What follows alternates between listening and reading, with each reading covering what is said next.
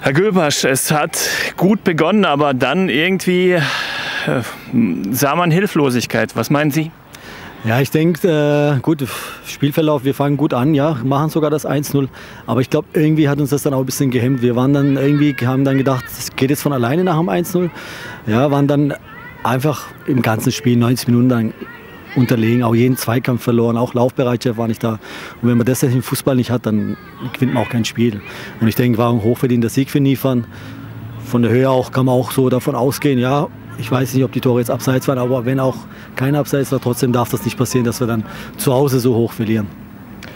Aber zu Hause läuft es irgendwie nicht gut. Diese Saison, äh, als ich die Tabellenstatistik angesehen habe, sind Sie ähm, äh, da als ziemlich heimschwach geführt im Vergleich zu Ihrer Auswärtsstärke.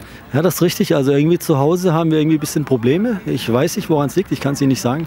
Auswärts tun wir jetzt etwas leichter, das stimmt. Äh, ist halt Fußball, ja, da kann man nichts dagegen machen.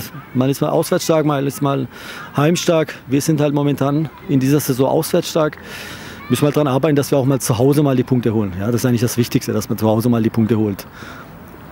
War das schon die Vorentscheidung beim Rennen um den Relegationsplatz?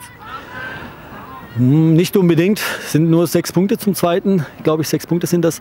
Äh, sind zwei Spiele, kann alles passieren. Also ich glaube, der erste Platz ist schon so gut wie vergeben, sage ich jetzt mal. Also für uns. Also wir kommen da jetzt nicht mehr ran an den ersten Platz.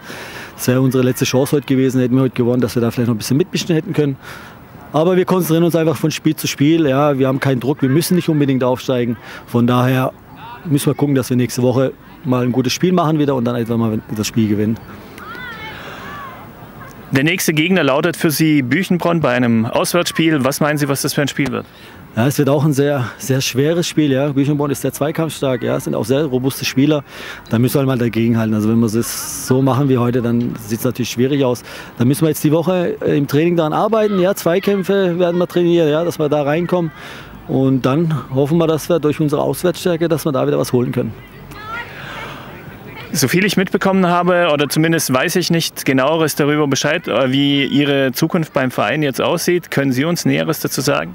Ja, die Gespräche sind gerade am Laufen. Muss man alles einmal abwarten, wie es jetzt noch weiterläuft.